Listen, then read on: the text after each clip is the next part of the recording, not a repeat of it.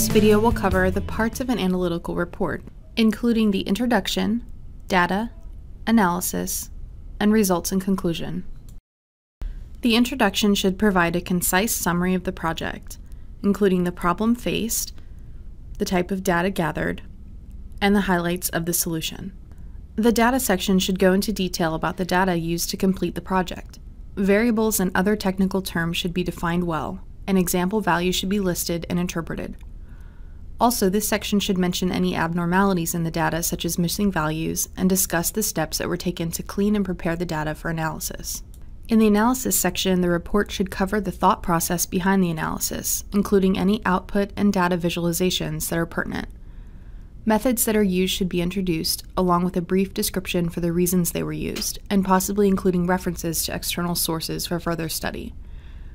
Care should be taken to not include every possible analysis, as this can provide information overload to the audience. Insignificant or less significant findings can be briefly summarized, leaving the majority of content in this section to focus on the most important findings. The results and conclusions section should summarize the results of the analysis and, if applicable, provide specific recommendations on a course of action.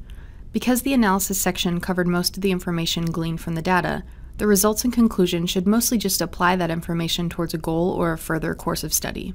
Combined, the introduction, data analysis, and results and conclusion sections of an analytical report, delivered succinctly and clearly by an effective business analyst, can provide useful and pertinent information to drive business improvement.